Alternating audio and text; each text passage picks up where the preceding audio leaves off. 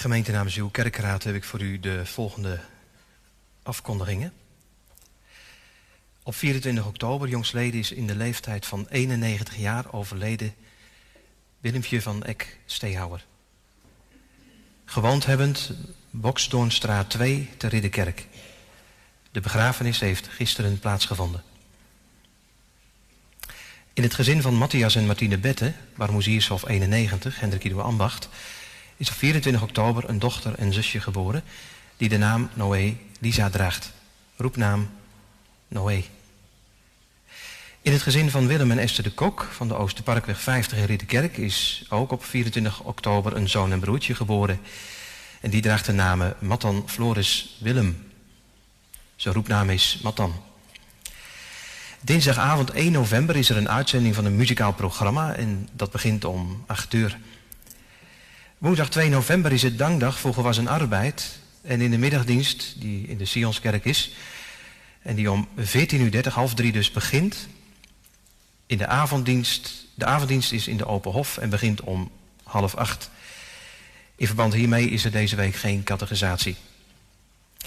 Donderdag 3 november is er de contactmiddag. Inloop vanaf 14 uur, 2 uur.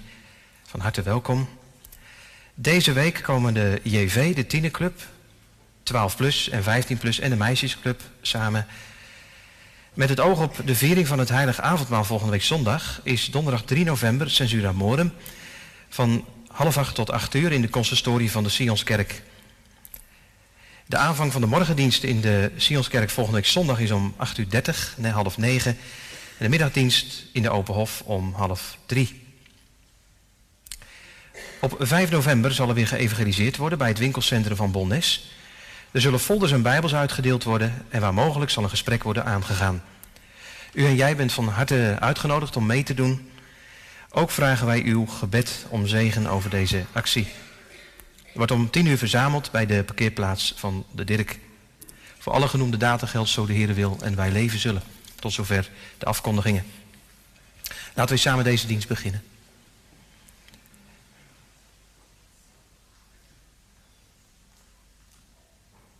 Onze hulp en onze verwachting is in de naam van de Heer, die de hemel en de aarde geschapen heeft, die trouw houdt tot in eeuwigheid en die niet loslaat het werk dat zijn hand begon. Amen. Gemeente, de preek gaat over uh, de geschiedenis van Ananias en Safira, een heel aangrijpende geschiedenis. En uh, dan is er alle reden om met elkaar te zingen. Psalm 139, het 14e vers, ook passend ter voorbereiding op het heilige avondmaal volgende week. Doorgrond me en ken mijn hart, o Heer, is hetgeen ik denk, niet tot uw eer, beproef me. Psalm 139, het 14e vers.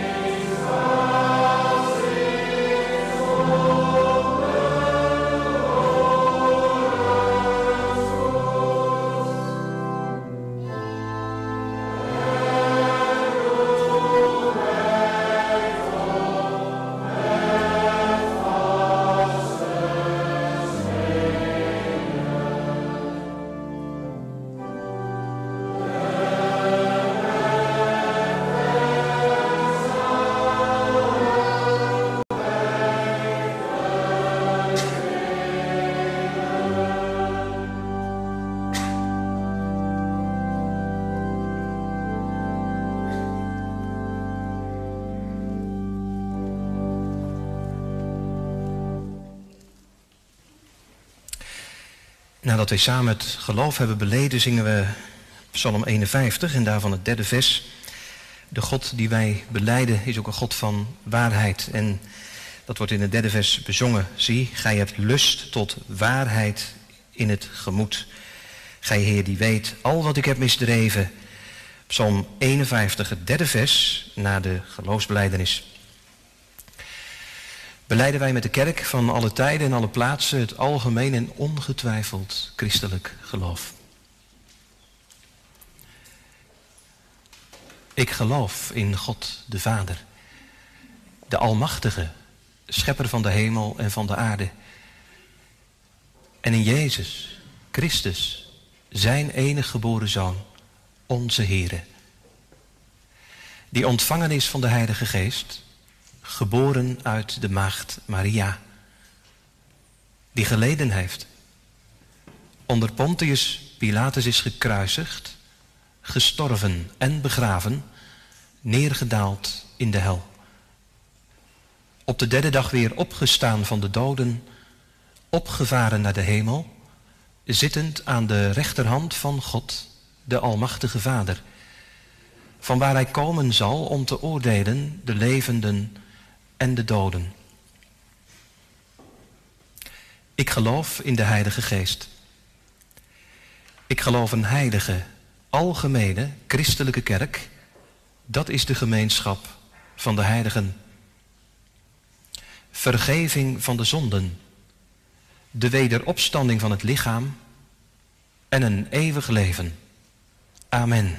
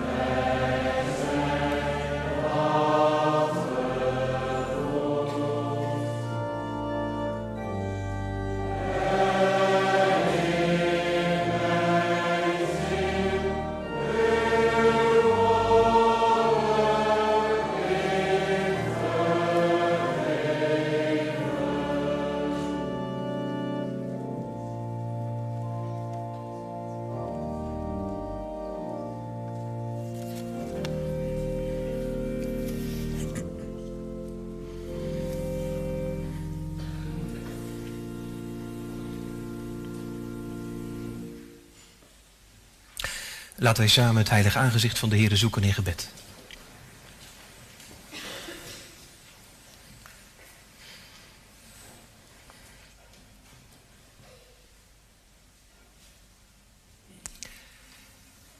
Here, Almachtige God en allergenadigste Vader. We zijn vanavond in deze dienst met elkaar als gemeente van U samengekomen om ons voor te bereiden op de bediening van het heilige avondmaal. Heren, dan is het terecht dat we net samen hebben gezongen, want u had niet hoeven komen als wij niet gezondigd hadden. Heren, daarom is het avondmaal voor ons ook confronterend en ontdekkend. Dat u uw lichaam moest breken, Heer Jezus Christus, u de Zoon van God, die mens bent geworden. Ons vlees en bloed hebt aangenomen. Tot zonde gemaakt. O Heere, dan moeten we ons hoofd buigen ook vanavond.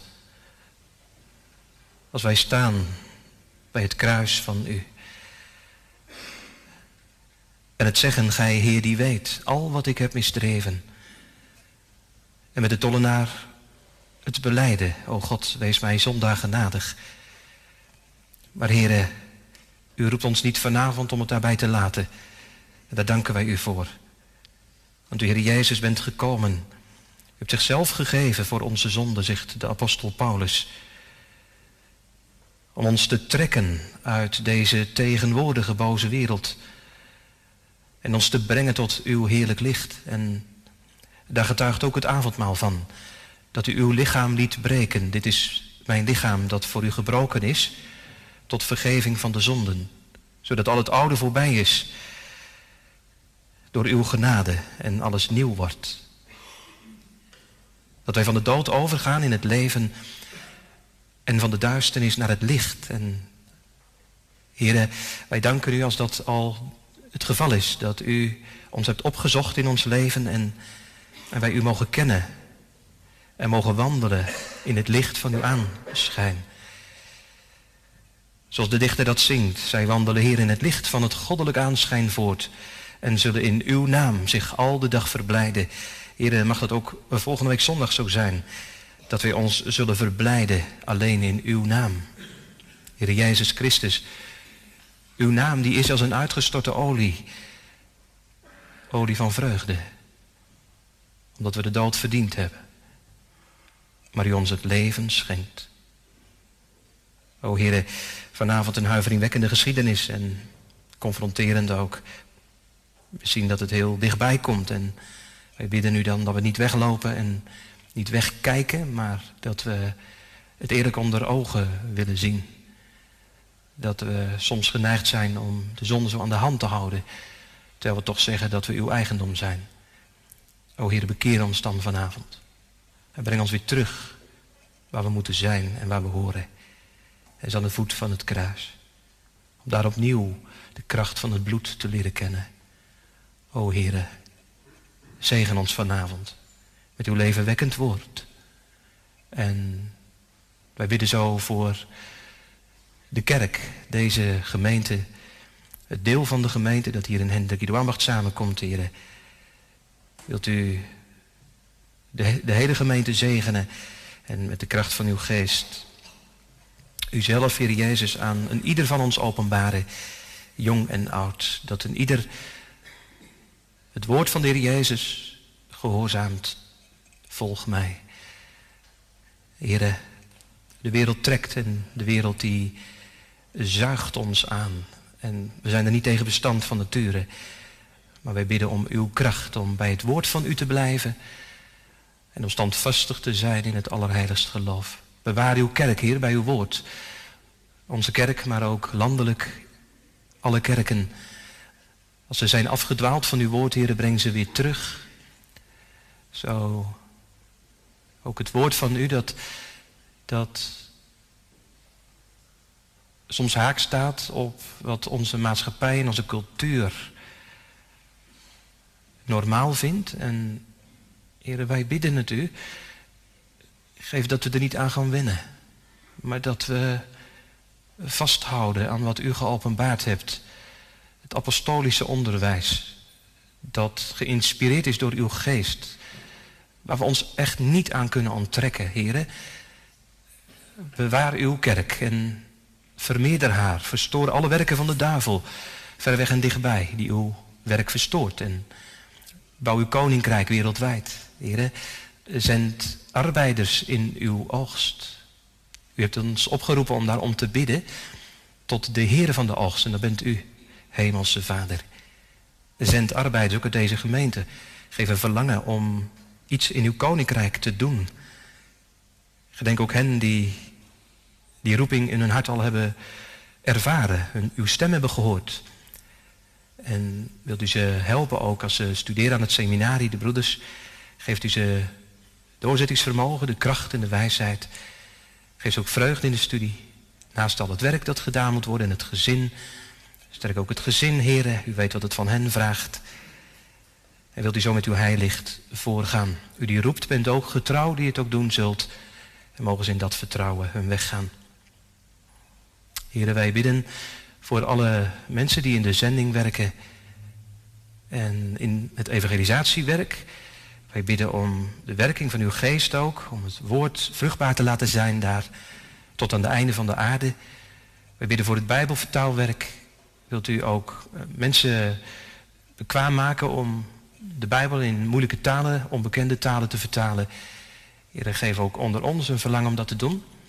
Zodat uw komst, Heer Jezus, bespoedigd wordt. En een gemeente die daarna verlangt, die zal ook die vragen zichzelf toch stellen, heren. Wat kan ik daaraan bijdragen? En geef dat we die vraag niet wegduwen, maar ook eerlijk onder ogen zien. Wij bidden, heren, voor uw volk Israël. U bent al bezig om ze terug te brengen naar het beloofde land. En daarin zien we dat u vasthoudt aan uw verbond en belofte. En dat u uw woord trouw bent. En wij bidden dat u daarmee doorgaat. En wij zien uit, heren, naar de dag dat u uw volk zult ontmoeten. Zoals Jozef zijn broers ontmoette. En het zei, ik ben Jozef, uw broeder. En heren, wat zal dat een rouwklacht teweeg brengen, ook bij hen. En een gejuich in uw kerk op aarde. O heren, wat zal dat een dag zijn? Dat het echt waar gaat worden. Eén herder met één kudde uit Jood en Heiden. En laat uw lof zo van, vanuit deze gemeente, maar wereldwijd, gehoord worden. En de roep, kom Heer Jezus, kom haastelijk. En Heer, dan bidden we bijzonder ook voor volgende week dat u in ons midden bent met de tekenen van brood en wijn, maar bijzonder met uw geest. Heere, trek ons zo door uw genade, door het woord van deze avond, tot Jezus Christus, die het leven is. Wij bidden u dat in zijn naam. Amen. De preek gaat over Handelingen 5, vers 1 tot en met 11. Maar we beginnen om een indruk te krijgen van de gemeente waar dit zich afspeelt. Te lezen in hoofdstuk 4, het 32e vers. Dus Handelingen 4, vanaf vers 32 tot en met hoofdstuk 5, vanaf vers 1 tot en met 11. Wij lezen daar vanmiddag het woord van de Heere als volgt. En van de menigte, van degenen die geloofden, was één hart en één ziel. En niemand zei dat iets van wat hij had van zijn eigen was. Maar alle dingen waren hun gemeen. En de apostelen gaven met grote kracht getuigenis van de opstanding van de Heer Jezus. En er was grote genade over hen allen, want er was ook niemand onder hen die gebrek had. Want zoveel als er bezitters waren van landen of huizen, die verkochten zij. En zij brachten de prijs van die verkochte goederen en legden die aan de voeten van de apostelen. En aan een ieder werd uitgedeeld nadat elk nodig had. En Jozef, van de apostelen toegenaamd Barnabas, dat betekent overgezet zoon van de vertroosting, een leviet van geboorte uit Cyprus. Als hij een akker had, verkocht die en bracht het geld en legde dat aan de voeten van de apostelen. En een zekere man, met name Ananias, met Safira zijn vrouw, verkocht een haven, dat is een bezitting. En ontrok van de prijs, ook met medeweten van zijn vrouw, en bracht een zeker deel en legde dat aan de voeten van de apostelen neer. En Petrus zei, Ananias, waarom heeft de Satan uw hart vervuld, dat ge de Heilige Geest liggen zou en onttrekken van de prijs van het land? Zo het gebleven was, bleef het niet van u, en verkocht zijnde was het niet in uw macht. Wat is het dat gij deze daad in uw hart hebt voorgenomen? Gij hebt de mensen niet gelogen, maar God. En Ananias, deze woorden horende, viel neer en gaf de geest. En er kwam grote vrees over allen die dit hoorden. de jongelingen, opstaande, schikten hem toe en droegen hem uit en begroeven hem. Het was ongeveer drie uur daarna dat ook zijn vrouw daarin kwam, niet wetend wat er geschied was.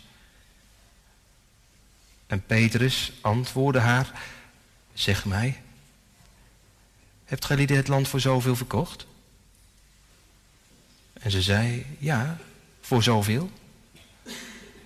Peter zei tot haar, wat is het dat gij onder u hebt overeengestemd te verzoeken, de geest van de Heere? Zie de voeten van degene die uw man begraven hebben, zijn voor de deur en zullen u uitdragen. En ze viel terstond neer voor zijn voeten en gaf de geest. En de jongelingen, ingekomen zijnde, vonden haar dood. En droegen haar uit en begroeven haar bij haar man. En er kwam grote vrees over de hele gemeente en over allen die dit hoorden. Tot zover het woord van de Heer.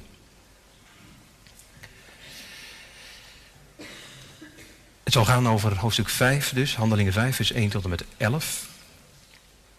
En het thema voor de preek is het werk van de Heilige Geest in de gemeente van Christus is ten eerste ontmaskerend en ten tweede maakt eerlijk voor God en voor elkaar. En ik zal het ook toespitsen op het heilige avondmaal.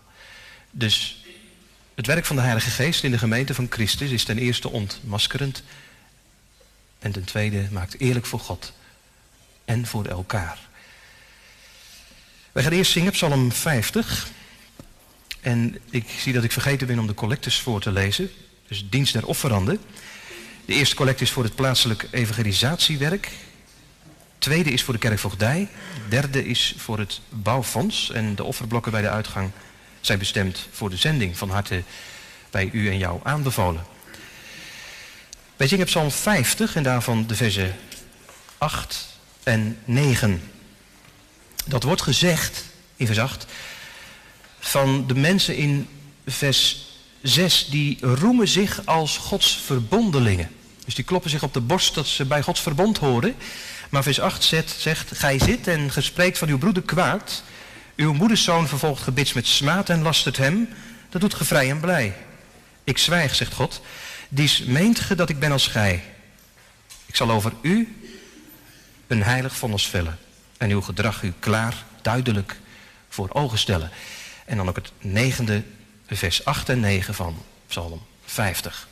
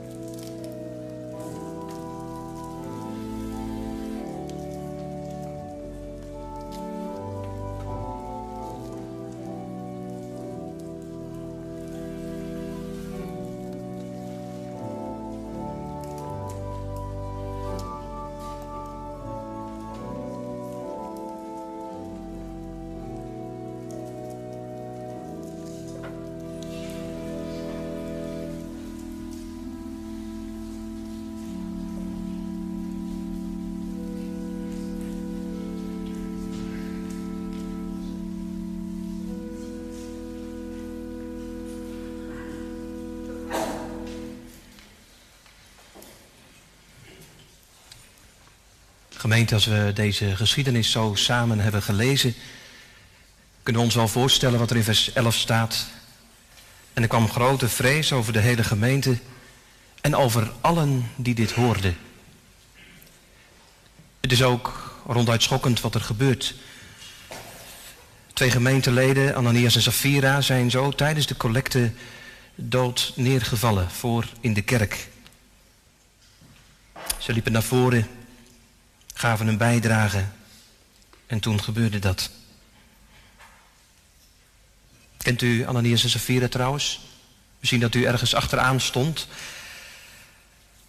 In de zuilengalerij van Salomo, in de tempel, waar de gemeente van Jeruzalem toen samenkwam. En ineens ging, gingen de mensen uit elkaar en werd er een pad gevormd. En een paar jongens met in hun midden een in doeken gewikkeld lichaam, bleek later, liepen langs ons heen en zo de tempel uit. Kwamen enkele uren later weer terug. En ondertussen hoorden we dat het Ananias was, die was weggedragen. Toen zagen we Safira zijn vrouw komen. Weet van niks. Ik denk dat het heel stil geworden is, denk ik. Ze lieten haar naar voren gaan tot voor Petrus. En toen stelde Petrus haar de vraag.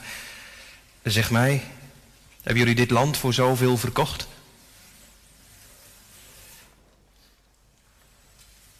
Ja? Voor zoveel?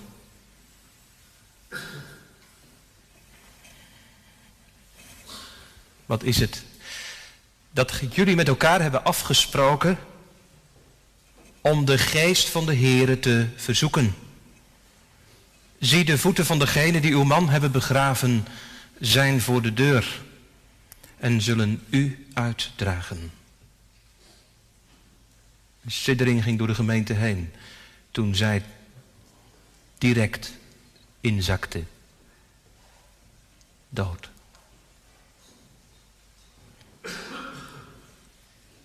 Als je dan naar huis gaat,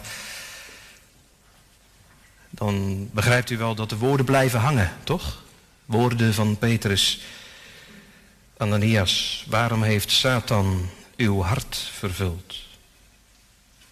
Dat u de Heilige Geest zou liegen door te onttrekken van de prijs van het land. Satan, uw hart vervult. Kan dat? Blijkbaar. Dat kan. Dat deed hij immers ook bij Judas, de discipel van de Heer Jezus, die hem verraadde. Satan die zomaar binnenkomt. Gemeente, was dat ook niet zo bij de schepping van hemel en aarde? God, God keek rond en hij zei het is zeer goed. En juist daar kwam Satan binnen in de gedaante van de slang. Nee, niet op klompen. Dan kon je van ver aan horen komen. Maar heel subtiel, heel listig. Door een rat voor ogen te draaien. En Eva, ze nam de vrucht en ze at.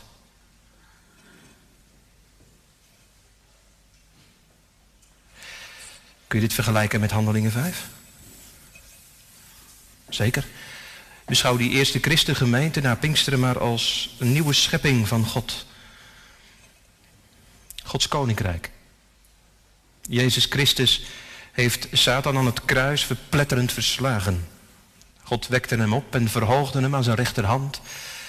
En hij stortte tien dagen later de Heilige Geest uit in Jeruzalem.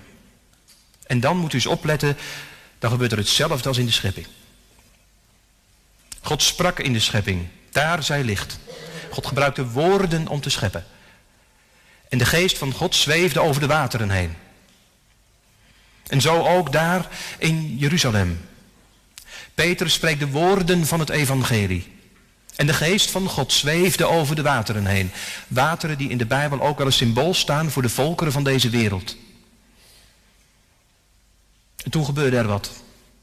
God schiep. Doden hoorden de stem van de Zoon van God. En die ze hoorden, die gingen leven. Ze werden doorstoken in het hart. En ze bekeerden zich tot God. En ze werden gedoopt in de naam van Jezus Christus tot vergeving van de zonde. 3000 mensen. Een nieuwe schepping van God. Dat is het echt. De nieuwe schepping. Een gemeenschap van de Heilige Geest. En juist omdat de geest van God zo duidelijk tastbaar in de gemeente aanwezig was. Ja, hoe? Hoe, hoe merk je dat? Weet u hoe je dat merkt? Er is eenheid. Kenmerkend voor een gemeente die vol is van de Heilige Geest. Eenheid. Daar zal ik zo meer over zeggen. Je merkt dit aan alles in deze gemeente, want er waren broeders die, die bijvoorbeeld een akker hadden of een huis en, en die verkochten ze nota bene. En het geld, de opbrengst daarvan, die legden ze aan de voeten van de apostelen neer. Zo van, niet mijn carrière is leidend, maar het woord van onze Here. Zoek eerst het koninkrijk van God en zijn gerechtigheid en al het andere zal u toegeworpen worden. Er is veel geloof voor nodig, maar dat is het werk van de geest. Ze delen aan de armen zoveel ieder nodig had. Niemand leed gebrek. En het wordt opvallend gezegd hier dat dat een grote genade was van God. Dus blijkbaar als je naar elkaar omziet en een oog hebt voor elkaar en elkaar meedeelt van, van je bezit, dat is genade. Genade van de geest. Kenmerk, eenheid. Eén lichaam is het, zegt Paulus. Eén geest. Eén Heere, Jezus Christus. Eén geloof, de leer van de apostelen. Eén doop tot vergeving van de zonde. Eén God en Vader van allen, die er is door allen en in u allen. Eenheid, dat is het werk wat Jezus Christus de grondslag voor heeft gelegd in zijn kruisdood en opstanding. Zegt de Colossensebrief. Dat hij gekomen is om alle dingen die verbrokkeld en verdeeld lagen, gebroken door de zonde, tot één te vergaderen. Eenheid, nieuwe schepping van God. Deze gemeente. een prachtig voorbeeld wordt hier genoemd. Gewoon, gewoon heel concreet. Jozef, bijgenaamd Barnabas, zoon van vertroosting, een leviet. Die had een akker, verkoopt het. En het geld ligt die, ja, het is voor Gods gemeente. De geest drijft hem, de geest vervult hem. Ziet u de nieuwe schepping? Ik was aan het vergelijken met de schepping, hè, de eerste schepping, Genesis 1 tot en met 3. Moet dus kijken wat er gebeurt. Ananias loopt naar voren. En er zet een zak met geld voor de voeten van Petrus neer. En dan kijkt Petrus hem aan. Hij zegt, Ananias, waarom heeft de Satan uw hart vervuld? Dat u tegen de Heilige Geest zou liggen en onttrekken van de prijs van het land. Wat gebeurt hier, hè? Satan zit in je hart. Maar Petrus, hoe weet je dat dan? Je hebt helemaal niets gevraagd. Kan hij zo dwars door je heen kijken dan? Hij heeft ook niet gevraagd van, joh, is dit alles? Heb je niet per ongeluk nog thuis wat liggen? Nee, er is geen twijfel bij hem. Satan zit in zijn hart, in het besturingscentrum van je leven, Ananias. Dat zie ik aan wat je nu doet. De gemeente, dat heeft Petrus niet van zichzelf, maar dat is de Heilige Geest van God die hem traceert. De vijand van God, Satan. Het is net als met een computer. Je moet een firewall hebben, toch? Een soort virusscanner om je besturingssysteem, je software te beschermen tegen bedreigingen. Die controleert alles wat in en uit gaat. En dit is nu de firewall van de gemeente. De Heilige Geest, muren van vuur. Hij zegt, bedreiging gevonden, Petrus. Zo'n alarmbelletje. Satan is binnengekomen Ziet u de overeenkomst met de schepping? Nieuwe schepping van God, Satan komt binnen. Maar wat God nu voor zorgt is, het gaat me niet nog een keer, niet dat het God overkwam, maar ik zeg het even met mijn eigen woorden, niet nog een keer gebeuren dat mijn schepping gebroken wordt. En die garantie is de Heilige Geest van God. dat dat niet meer gebeurt. En hij ontmaskert direct. Dit is een uniek moment in de heilsgeschiedenis. Het begin van de kerk. En hoe ging dat nou heel praktisch? Ik moet proberen voor te stellen bij Ananias. Hij heeft natuurlijk niet gezegd, kan ik me tenminste niet voorstellen, Satan, kom maar binnen. Van harte welkom.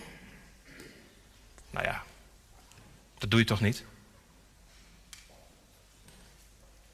Of wel? Nou ja. Kan wel hoor. Zeker. Tuurlijk kun je dat vragen.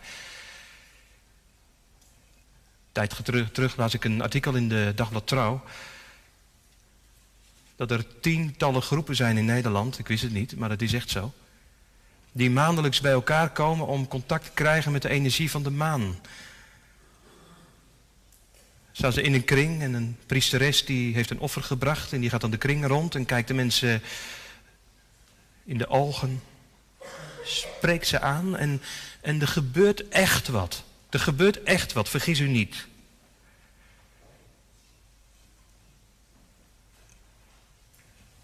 Kijk, dat gebeurt er nou. Dan vraag je erom als, als, als om, dat Satan binnenkomt. In je hart, levensgevaarlijk, dat kan echt. Niet doen, jongelui. Ook niet voor de grap, hè? Morgen is Halloween. Niet aan beginnen. Hou je er ver vandaan. Je kunt het voor de grap doen, maar Satan is heel serieus. Hij denkt, ik zie een kier en ik kom binnen. Maar ja, zo is het natuurlijk niet gegaan bij Ananias, dat begrijpt u wel. Gewoon zoiets van... Ja, Barnabas staat nu helemaal bovenaan de rankinglist. Likes, ja, wie wil dat niet? Wees nou eens eerlijk. wil je toch? Zo zitten mensen in elkaar. Maar dan moet je wel een stuk land verkopen om een beetje op dat niveau te komen, of liefst nog te boven. En ik heb gedacht, waarom zo'n scherp oordeel hier? Is dat dan dat als je een zonde doet, dat je dan hier in de kerk ook dood neer kunt vallen? Zou dat kunnen? Nou, allereerst, zoals ik u net al zei, het is een uniek moment in de heilsgeschiedenis van Gods kerk. Hè? Het begin van Gods schepping, dus dat is wel bijzonder. Moet u wel vasthouden. Maar ik denk dat er nog wel meer aan de hand is.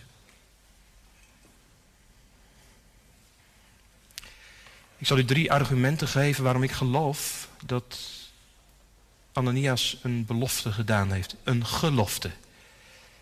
In het openbaar, in de gemeente. Zo van, ik heb een akker, uh, ik, ik ga hem ook verkopen en dan geef ik het geld ook aan God. Dat is een gelofte doen. En hij doet het. Hij verkoopt een akker. En de zak met geld is voor God. Tot zover op zich niks aan de hand, toch? Mooi. Maar goed, dan kiepert hij die zak geld leeg op tafel en ik denk, joh, het is toch wel meer dan ik dacht. De opbrengst, toch jammer eigenlijk. Moet ik nou echt alles weg moeten geven?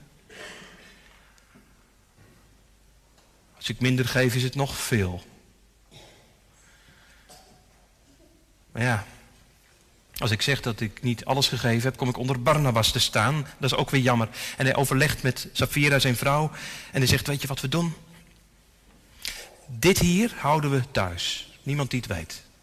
En de rest geven aan de kerk, zo gezegd. Wat niet weet, wat niet deert. Maar de geest van God kijkt daar heel anders tegenaan. Waarom heeft Satan... Hè? Wat heeft Satan hier nou mee te maken? Waarom heeft Satan uw hart vervuld, Ananias? Waarom lieg je tegen de Heilige Geest? Weet u waar dat mee te maken heeft? Deze gemeente, zoals u hier bij elkaar niet het gebouw, maar u als vergadering, gemeente, niet zomaar een clubje bij elkaar, net als de voetbalclub bijvoorbeeld. dan kruip je bij elkaar omdat je dezelfde interesse hebt.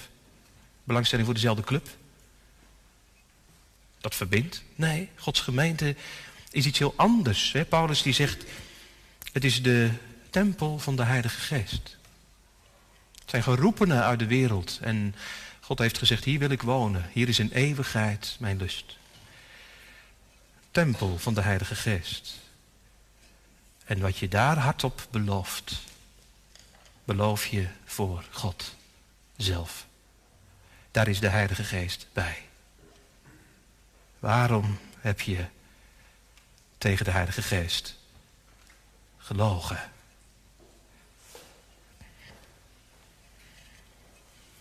Het tweede is, die gelofte, dus dat is het eerste argument. Het tweede is een tekst uit Deuteronomium 23, vers 21. Daar zegt Mozes, als u aan de Heere, uw God, een gelofte beloofd hebt, of een vrijwillig offer beloofd hebt, een vrijwillige gave, dan moet u dat doen. Anders zal er zonde in u zijn. Dat is ook duidelijk, toch? Hier sprake van zonde. Is niet iets zo dat in een opwelling dat hij zelf gedacht heeft, ik ga alles geven, maar hij heeft het gewoon echt gezegd. Maar ik vind het sterkste argument nog wel het woord onttrekken. Waarom heb je ontrokken van de prijs van het land? Het woord onttrekken komt maar vier keer voor in het Grieks in de hele Bijbel. Drie keer in het Nieuwe Testament en één keer in de Griekse vertaling van het Oude Testament. Vier keer. Twee keer hier in dit gedeelte en één keer in Titus 2, vers 10. Daar zegt Paulus tegen de slaven, hij zegt onttrek niets van je baas, steek niets in je eigen zak stiekem wat van je baas is. Daar hebben wij een woord voor. Verdonkere manen, verduisteren. Het, het is van een ander en je steekt het in jouw zak. Onttrekken. Hij had het voor een ander bestemd, voor God. Steekt het in zijn eigen zak. De vierde keer dat dit woord voorkomt is in het Oude Testament. Jozua 7, vers 1. En ik denk dat die geschiedenis een heel duidelijk licht werpt op wat hier gebeurt. Om deze zonde helder te krijgen. En de kinderen Israël, staat daar, overtraden door overtreding met het verbannene. Want Agam nam van het verbannene, dat woord nam, dat is het, ontrok van het verbannene. Toen ontstak de toren des Heren tegen zijn volk. Wat is daar aan de hand? Dat we daar eens wat op inzoomen. Het volk Israël is door de Heere verlost uit het slavenhuis van Egypte. En wordt door God geleid naar het beloofde land om hem daar te dienen. Er wordt voor hen een, een, opening gemaakt in de Jordaan om het thuisland binnen te komen. En het eerste waar ze tegenaan lopen is de hoge, dikke muren van de stad Jericho. Onneembaar. Maar God zegt, ik zal het doen. Ik zal voor u strijden en jullie zullen stil zijn. En dat doet God ook. Zonder dat ze één vinger er naar hebben uitgestoken. Op het blazen van de shofar op de Sabbatdag storten de muren van Jericho met een donderend geraas in. Stad is een puinhoop. Maar, zegt God, één voorwaarde. Deze stad zal verbannen zijn voor de Heere. Blijf eraf. Ze is van mij. Anders zult u een ban zijn in het leger. Dus afblijven. En dan moet u eens kijken hoe subtiel dat begint. We hebben het over Satan in je hart, hè? Hoe gaat dat nou? Is heel leerzaam. Agan, die, die liep eens langs die puinhopen heen en dacht, oh, even kijken. Geen probleem toch? Je mag toch best kijken of niet?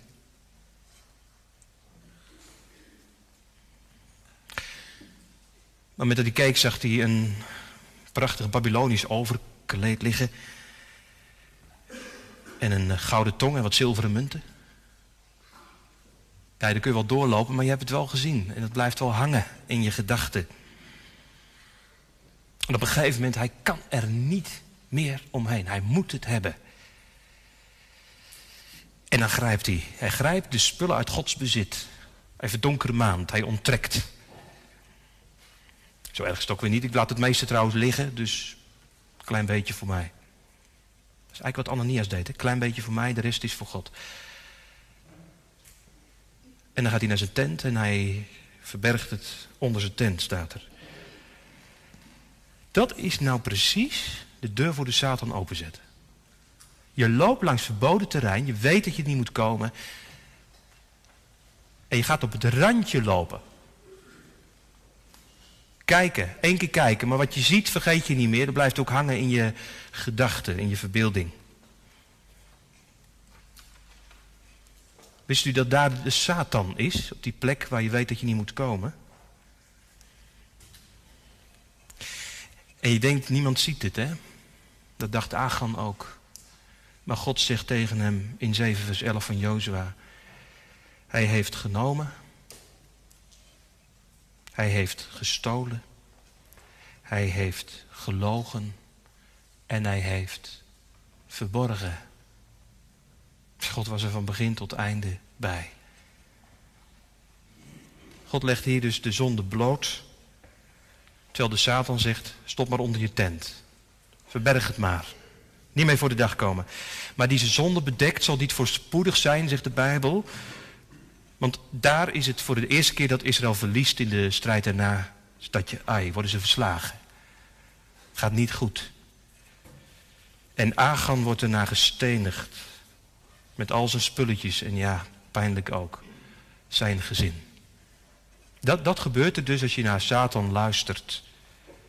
Je denkt dat je erop vooruit gaat. Ja, zo spiegelt hij het ook voor. Hij liegt alles aan elkaar, echt. Hij belooft je koeien met gouden horens, maar dan laat je diep ongelukkig achter. Kijk maar naar Adam en Eva, wat is er van gekomen? Kijk naar Agan, waar is hij terechtgekomen? Kijk naar Ananias en Safira.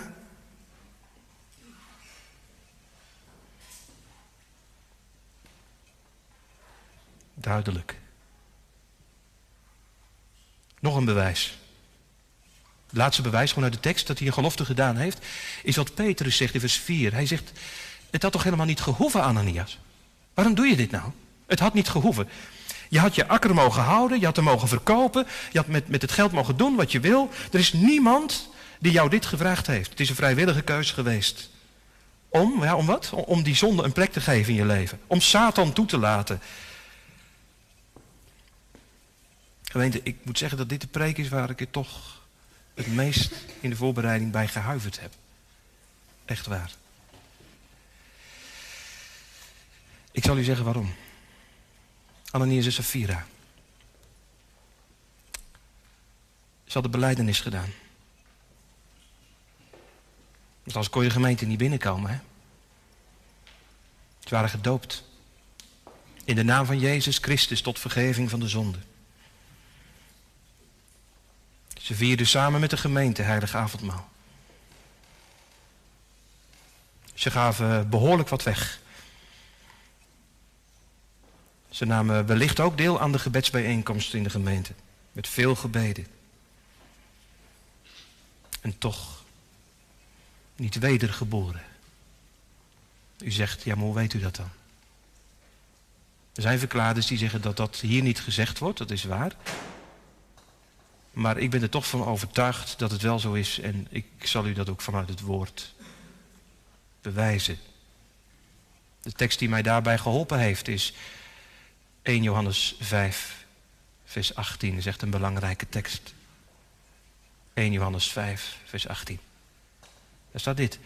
Die uit God geboren is, die bewaart zichzelf en de boze vat hem niet. Zullen we hem eens omdraaien met het oog op Ananias en Safira? De boze vatten, vatten hen. Zij bewaren zichzelf niet. Zij waren niet uit God geboren. Het is wel een opscherping, vindt u niet? Zo naar het heilige avondmaal toe. Je hoort het namelijk wel eens dat een avondmaalganger zich mooier voordoet dan hij is. Iedereen kijkt tegen hem op.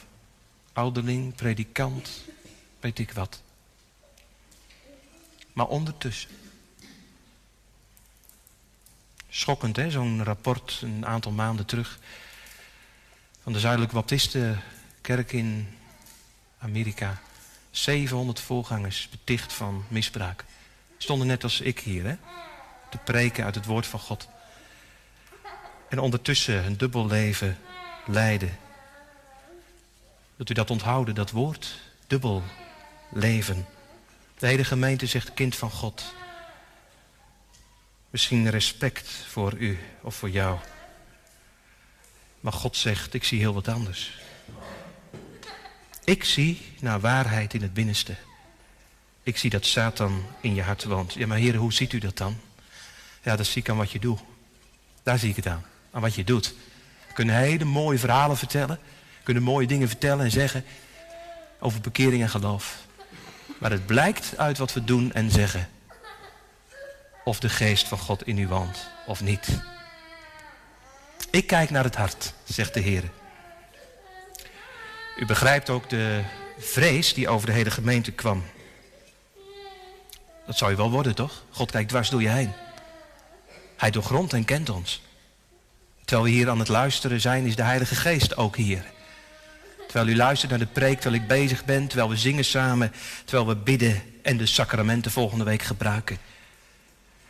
En dan is het dat God zegt, je kunt beleidenis hebben gedaan, dat kan, dat is mooi hoor. Tuurlijk. Je kunt gedoopt zijn, buitengewoon waardevol. Je kunt avondmaal vieren met de gemeente en zeggen in Jezus Christus te geloven. Maar ik kijk. Waar kijkt u naar, heren? Hoort u mij? Ik kijk of u mij volgt in uw dagelijks leven. Daar kijk ik naar.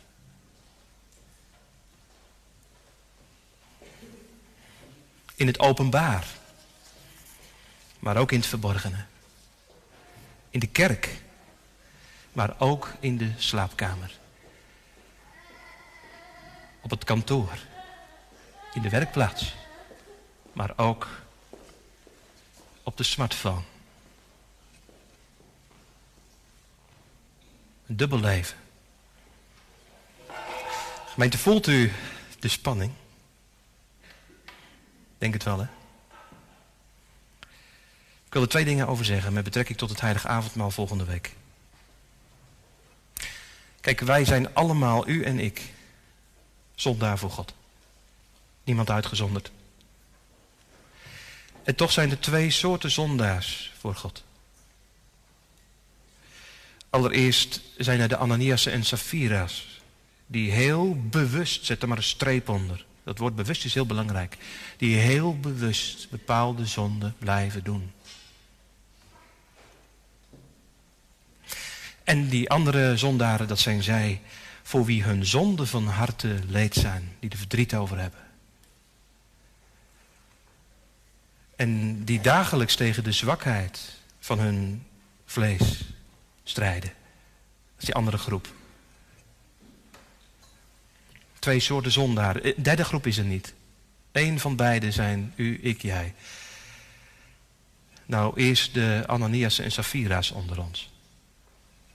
Misschien kent u de tekst wel uit 1 Korinthe 11, vers 29 tot 32. Het zegt Paulus die bekende woorden die, die soms bij iemand echt in het geweten kunnen branden. Dat je aan het avondmaal je kunt, een oordeel kunt eten en drinken. Wanneer doe je dat? Wanneer doet u dat? Ik zal u een antwoord geven, een kort antwoord vanuit dit schriftgedeelte. Als u een dubbel leven leidt.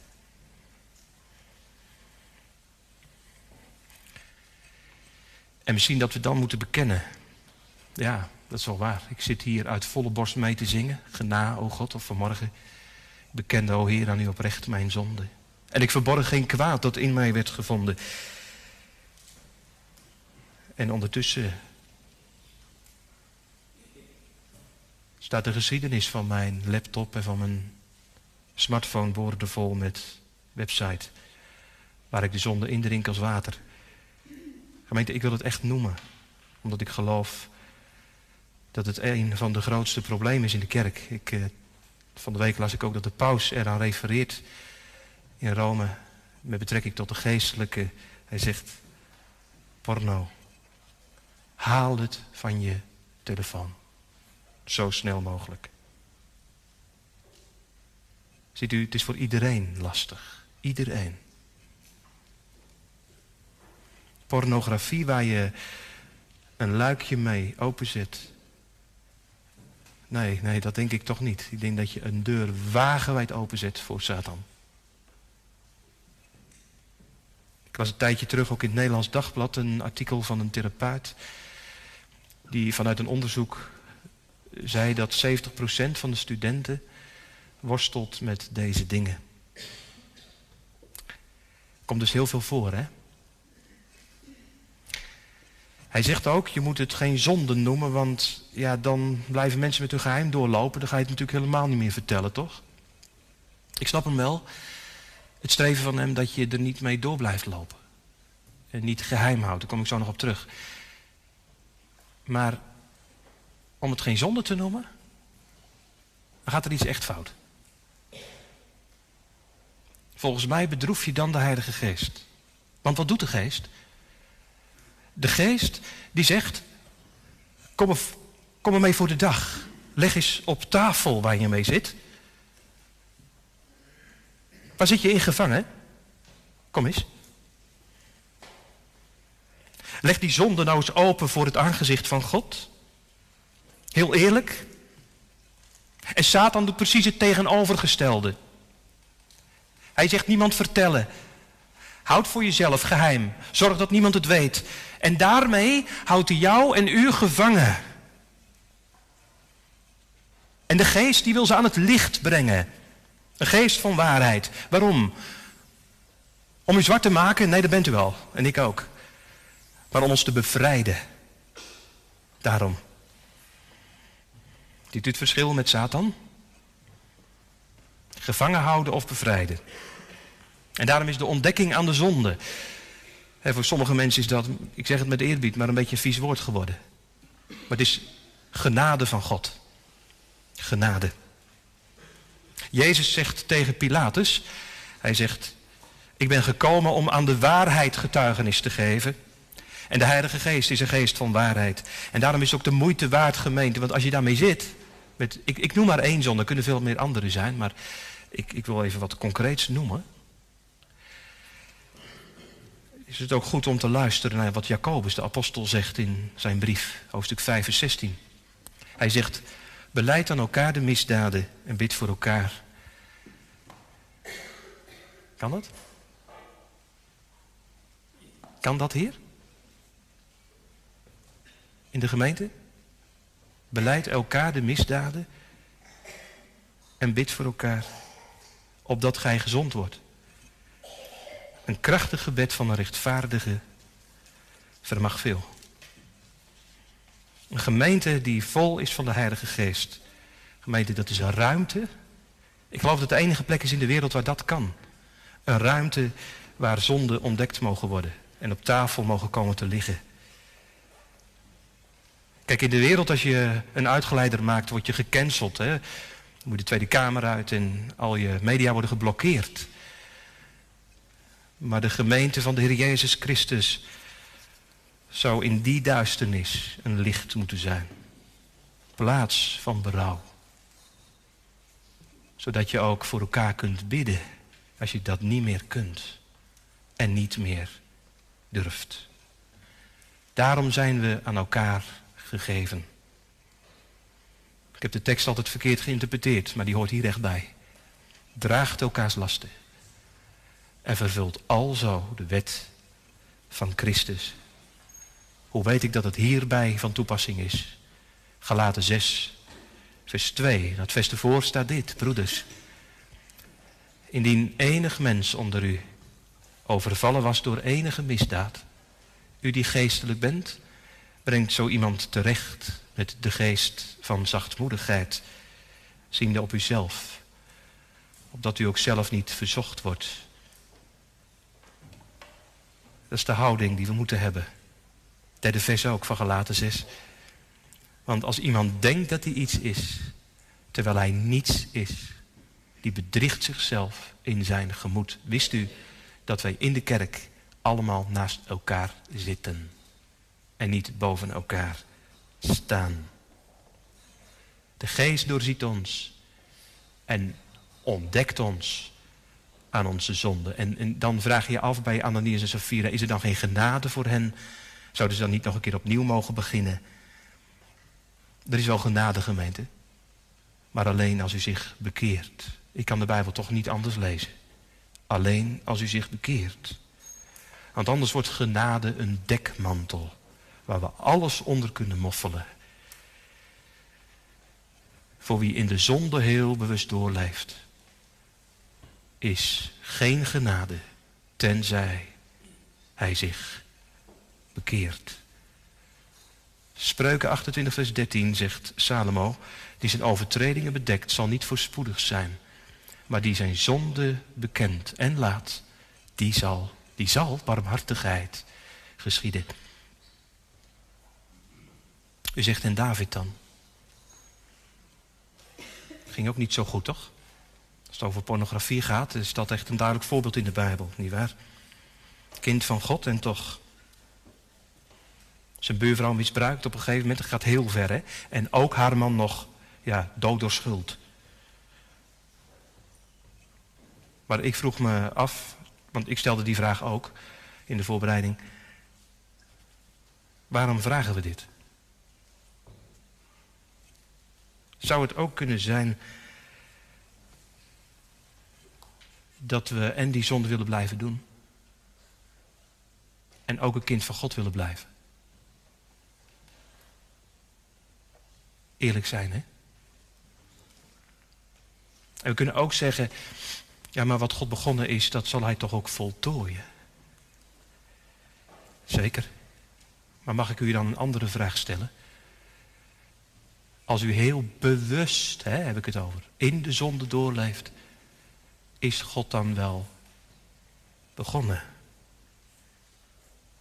En daarom is deze geschiedenis een hele ernstige oproep. Echt. Om niet aan de zonde vast te houden, maar ze te beleiden voor God. Want als wij willens en wetens, zegt Hebreeën 10 vers 25, als wij willens en wetens zondigen nadat wij de kennis van de waarheid ontvangen hebben, dan blijft er geen slachtoffer meer voor de zonde over, maar slechts een verschrikkelijke verwachting van oordeel en van vuur, dat de tegenstander zal verslinden. Gemeente, dat moet. Waar moet dat gezegd worden? Op straat tegen de wereld? Nee, in de gemeente van Jezus Christus. Daar klinken die woorden. Maar dit wordt ons, geliefde broeders en zusters, niet voorgehouden om de verslagen harten, daar heb je die andere groep zondaren, de verslagen harten van de gelovigen kleinmoedig te maken, alsof niemand tot het avondmaal van de Here gaan mocht dan die zonder enige zonde was. Ja, u hoort hier ons gouden avondmaalsformulier. Want misschien zegt u wel, ja, ik worstelde juist zo mee. Ik vind het zo lastig, zo lastig. Ik zou er wel van verlost willen worden. Het is een gevecht, echt, elke dag, die ik zo vaak verlies. Ik wil het niet en ik doe het toch. En ik voel me er ellendig onder, gevangen, verslaving. En ik, doe er alles aan om er vanaf te komen. Wat zeg je? Wat zegt u? Doet u er alles aan? Mag ik vragen wat? Vroeg dat toen eens een keer aan een jongen die tegen mij zei. En hij zegt tegen mij. Hij zegt, ik volg therapie. Ik zeg, kijk, dat is bekering. Dat is nou bekering. Je hoeft het gevecht niet alleen aan te gaan. Biddend, dat is waar, in de kracht van God. Maar God geeft mensen om ons heen, in de gemeente, maar ook daarbuiten, om ons daarbij te helpen. Ja, hij zegt, ik wil niet zonder de Heer Jezus. Ik kan niet zonder Hem. Het is me alles waard. Zelfs mijn verslaving. Zelfs mijn lievelingszonde. Ja, zo sta je dus met de tollenaar voor God. O God, wees mij zondaar genadig. En verberg je geen kwaad meer dat in je wordt gevonden. Is een werk van de geest. Dan, dan gemeente, dan heeft de Satan uw hart niet vervuld. Niet. Hij woont er niet. Dat is het werk van de geest. U bent oprecht voor hem. En dan staan de armen van de zaligmaker wagenwijd open. Nu, vanavond, maar ook volgende week zondag. En dan zegt hij het tegen u en jou. Voor u, voor jou ben ik gekomen. Kom tot mij. Allen die vermoeid en belast bent. En ik zal u rust geven. Je bent welkom, mijn kind. Ja, heren. Ik? Ja, ik ontvang zondaars en ik eet met hen. Kijk, dan wordt het avondmaal van de Heer Jezus Christus niet een podium om mijn ik te etaleren en mijn bekering te laten zien. Nee. Het wordt alleen nog maar een plek waar ik zichtbaar maak dat ik een zondaar ben voor God. En dat ik midden in de dood lig. Het formulier zegt het ook zo mooi. Wij komen niet tot het avondmaal om daarmee te betuigen dat we in onszelf rechtvaardig zijn. Maar in tegendeel, aangezien wij ons leven buiten onszelf in Jezus Christus zoeken, die een volkomen zaligmaker is, zo beleiden wij dat wij midden in de dood liggen en dat wij nog zoveel gebreken en ellendigheid in ons ervaren. Ja toch? Of niet dan? Als deze gebreken u en jou van harte leed zijn. Als je er verdriet van hebt. En je verlangt er tegen te strijden, zegt het formulier. Zo zullen wij, nu moet u echt goed luisteren. Zo zullen wij gewis en zeker zijn dat geen zonde of zwakheid die tegen onze wil in ons is overgebleven, ons kan hinderen dat God ons niet in genade zou aannemen. Het is voor God geen verhindering, als u van harte leed is, om u een genade aan te nemen, ook volgende week. Dan is dat een plek waar ik minder word en waar mijn meester, mijn zaligmaker, meer wordt. En hoort u het uit zijn mond, ik liet mij binden om u en jou los te maken van waar je zo in vastgeketend kunt zitten. Om u te bevrijden. Ik werd door God verlaten, opdat u nooit meer door hem verlaten zult worden. Ik heb voor u voor jou de prijs betaald. Ik ben een verzoening voor al uw zonden. O gemeente, dan, ja, dan gaat Christus zo schitteren. Wordt hij alles voor je. Alles. Voor het eerst en ook steeds weer opnieuw. Steeds dieper. Ik zat net in de auto te denken, denk je, juist doordat je zo tegen jezelf aanloopt, hè, ga je steeds meer Jezus nodig krijgen. Ga je steeds meer in hem wortelen, toch? Je steeds meer aan hem hechten. En dan horen we het van de tafel. Indien wij zeggen dat we geen zonde hebben. Geen, hè? Dan verleiden we onszelf in de waarheid. De geest van God is niet in ons. Dan zeg ik het u eerlijk. Dan hoort u niet aan het avondmaal. Maar indien wij onze zonde beleiden, Hij is getrouw en rechtvaardig, dat hij ons de zonden vergeeft en ons reinigt, schoonmaakt van al onze ongerechtigheid. Dan is de tafel van de Heer een plaats waar God het u laat zien. Ik vergeef menigvuldig en ik doe het nog graag ook. Waar Satan zegt, bedekken onder de tafel ermee. Zegt de Heer, kom maar, hier bij mijn kruis. Daar mag u al die zonden neerleggen. Klem uw vuile handen maar om dat ruwhouten kruis heen. En, en zeg het maar, Heer, hier ben ik weer. Wees mij zondaar genadig. En dan druppelt dat bloed van de Heer Jezus Christus van dat kruis op uw handen en op uw hart. En hoort u het vanaf het kruishout. Uw zonden zijn u vergeven. Ga heen in vrede. Uw geloof heeft u behouden. Amen. Wij zingen Psalm 65 en daarvan het tweede vers een stroom van ongerechtigheden had de overhand op mij, maar ons weer spannig overtreden, verzoend en zuivert gij. Psalm 65, vers 2.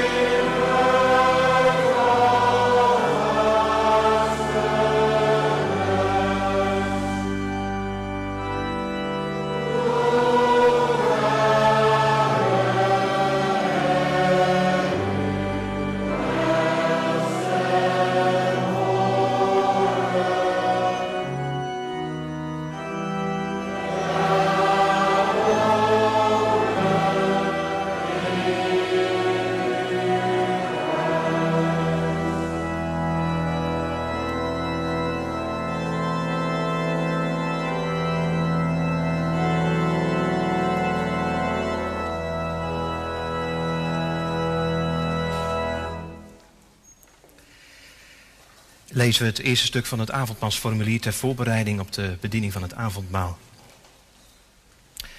Geliefde in de Heer Jezus Christus, hoort aan de woorden van de inzetting van het heilig avondmaal van onze Heer Jezus Christus. Welke hij ons beschrijft, de heilige apostel Paulus in 1 Korinthe 11. Ik heb van de Heer ontvangen, hetgeen ik u ook overgegeven heb, dat de Heer Jezus in de nacht in welke hij verraden werd het brood nam. En als hij gedankt had, brak hij het en zei, neemt, eet. Dat is mijn lichaam dat voor u gebroken wordt. Doe dat tot mijn gedachtenis. Desgelijks nam hij ook de drinkbeker na het eten van het avondmaal en zei, deze drinkbeker is het Nieuwe Testament in mijn bloed. Doe dat zo dikwijls als ge die zult drinken tot mijn gedachtenis. Want zo dikwijls als gij dit brood zult eten en deze drinkbeker zult drinken, zo verkondigt de dood des Heren totdat hij komt. Zo dan, wie onwaardig dit brood eet of de drinkbeker des Heren drinkt, die zal schuldig zijn aan het lichaam en bloed van de Heren. Maar de mens beproeven zichzelf en eten zo van het brood en drinken van de drinkbeker. Want die onwaardig eet en drinkt, die eet en drinkt zichzelf een oordeel niet onderscheidende het lichaam van de Heer. Opdat wij nu tot onze troost het avondmaal van de Heer mogen houden, is ons voor alle dingen nodig ten eerste dat wij ons van tevoren recht beproeven op de juiste wijze. Ten andere dat wij tot dat einde, tot, met dat doel gebruiken waartoe de Heere Christus verordineerd en ingesteld heeft, namelijk tot zijn gedachtenis. De waarachtige beproeving van onszelf bestaat in deze drie stukken. Ten eerste bedenken ieder bij zichzelf zijn zonden en vervloeking, opdat hij zichzelf mishagen. En zich voor God verootmoedigen, omdat de toon van God tegen de zonde zo groot is, dat hij die, eer hij die ongestraft liet blijven, aan zijn lieve zoon Jezus Christus met de bittere en smadelijke dood van het kruis gestraft heeft. Ten andere onderzoeken ieder zijn hart of hij ook deze zekere belofte van God gelooft. Dat hem al zijn zonden alleen om het lijden en sterven van Jezus Christus vergeven zijn. En de volkomen gerechtigheid van Christus hem als zijn eigen toegerekend en geschonken is. Ja, zo volkomen, alsof hij zelf in eigen persoon voor al zijn zonden betaald en alle gerechtigheid volbracht had. Ten derde onderzoeken ieder zijn conscientie, zijn geweten, of hij ook gezind is voortaan met zijn gehele leven waarachtige dankbaarheid jegens God de Heer te bewijzen en voor het aangezicht van God oprecht te wandelen. En ook of hij zonder enige geveinsdheid alle vijandschap, haat en nijd van harte afleggen en een ernstig voornemen heeft om vanaf nu voortaan in waarachtige, echte liefde en eenheid met zijn naaste te leven. Alle dan die zo gezind zijn, wil God zeker in genade aannemen en voor waardige medegenoten van de tafel van zijn Zoon, Jezus Christus, houden. Daarentegen die dit getuigenis in hun hart niet voelen, die eten en drinken zichzelf een oordeel. Waarom wij ook naar het bevel van Christus en van de apostel Paulus, alle die zich met deze navolgende ergelijke zonde besmet weten, vermanen van de tafel van de Heere zich te onthouden. En te verkondigen dat zij geen deel in het rijk van Christus hebben. Als daar zijn alle afgodendienaars, alle die verstorven heiligen, engelen of andere schepselen aanroepen. Alle die de beelden aandoen. En uh, heel actueel ook, naar morgen toe en met Halloween. Alle tovenaars en waarzeggers die vee of mensen en andere dingen zegenen en die aan zo'n zegen geloof hechten. Occultisme. Alle verachters van God en zijn woord en van de heilige sacramenten. Alle godslasteraars en alle die tweedracht, secten en muiterij in de kerken en ook in de regering, wereldlijke regering, begeren aan te richten. Alle mijn edigen die hun eed breken. Alle die hun ouders en aan de overheid ongehoorzaam zijn. Alle doodslagers, ruziemakers en die in haat en nijd tegen hun naaste leven. Alle echtbrekers, hoereerders, dronkaards, dieven, woekeraars, rovers, gokkers, gierigaards en al degenen die een ergelijk leven leiden. Deze allen, zolang ze in zulke zonde blijven, zullen zich van het, de spij, deze spijzen die Christus alleen voor zijn gelovigen verordineerd heeft, onthouden. Opdat hun gericht en hun verdoemenis niet des te zwaarder worden. Maar dit wordt ons geliefde, zeer geliefde broeders en zusters in de Heer niet voorgehouden om de verslagen harten van de gelovigen kleinmoedig te maken, alsof niemand tot het heilig avondmaal des Heren gaan mocht, dan die zonder enige zonde was. Want wij komen niet tot dit avondmaal om daarmee te betuigen dat we in onszelf volkomen rechtvaardig zijn, maar in tegendeel. Aangezien wij ons leven buiten onszelf in Jezus Christus zoeken, zo bekennen we daarmee dat wij midden in de dood liggen. Daarom is het dat wij nog veel gebreken en ellende in ons bevinden, ervaren, als namelijk dat we geen volkomen geloof hebben, dat wij ons ook met zo'n ijver om God te dienen niet begeven als wij schuldig zijn, maar dagelijks met de zwakheid van ons geloof en de boze lusten van ons vlees te strijden hebben, nochtans des niet tegenstaande, overmits ons, door de genade van de Heilige Geest, zulke gebreken van harte leed zijn en wij begeren tegen ons ongeloof te strijden en naar alle geboden van God te leven. Zo zullen wij gewis en zeker zijn dat geen zonde of zwakheid die nog tegen onze wil in ons overgebleven is, ons kan hinderen dat God ons niet in genade zou aannemen. En alzo deze hemelse spijzen en drank waardig en deelachtig maken. Tot zover. Laten wij samen bidden en danken.